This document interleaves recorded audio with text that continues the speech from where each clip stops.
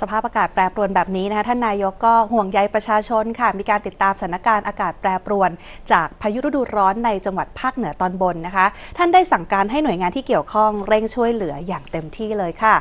พลเอกประยุทธ์จันโอชานายกรัฐมนตรีนะคะ ก็ได้พูดถึงการให้ความช่วยเหลือผู้ประสบภัย จากเหตุการณ์พายุฤดูร้อนพัดถล่มจังหวัดเชียงใหม่เมื่อวานนี้ค่ะว่า หน่วยงานที่เกี่ยวข้องได้รายงานเข้ามาแล้ว และตัวท่านเองก็ได้สั่งการไปเมื่อวานนี้นะคะให้กระทรวงรวมถึงหน่วยงานที่เกี่ยวข้อง เข้าไปดูแลประชาชนที่ได้รับผลกระทบ โดยย้ำว่าจะให้ความดูแลอย่างดีที่สุดค่ะ มาตรการอยู่แล้วล่ะนะก็สั่งการตั้งแต่เมื่อวานแล้วก็โดยงานต่างๆที่เกี่ยวข้องก็รายงานมาแล้วนะ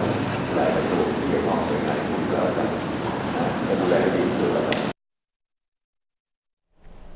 ท่านก็บอกว่ามีมาตรการอยู่แล้วก็ดูแลให้ดีขึ้นนะนะคะ ขณะที่พลเอกอนุพงศ์เผ่าจินดารัฐมนตรีว่าการกระทรวงมหาดไทยค่ะ ก็บอกว่าขณะนี้ได้สั่งการให้กรมป้องกันและบรรเทาสาธารณภัย ร่วมกับท้องถิ่นลงไปช่วยดูแลประชาชนแล้ว โดยได้มีการเตรียมการรับมือเอาไว้ก่อนหน้านี้อยู่แล้ว ตั้งแต่เดือนเมษายนค่ะ ว่าจะมีการเกิดพายุฤดูร้อนโดยเฉพาะอย่างยิ่งนะคะท่านก็ได้สั่งการให้ท้องถิ่น ได้ไปตรวจตราป้ายโฆษณาที่อยู่ในที่สูง ที่มีความเสี่ยงว่าอาจจะเกิดอันตรายกับประชาชน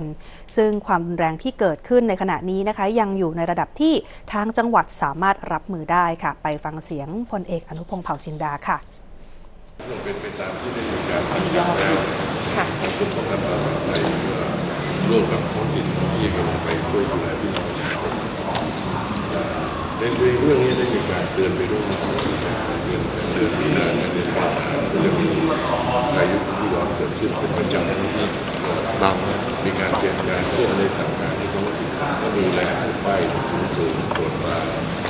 นะครับที่จะเกิดอันตรายได้นะครับและแจ้งเตือนพี่น้องประชาชนจะมีประจำอยู่ความความรุนแรงที่เกิดขึ้นก็ยังถือว่าในส่วนของพื้นที่รับมือได้ใช่ไหมคะ ในพื้นที่ก็ดูแลกันอย่างที่ผมเรียนนะ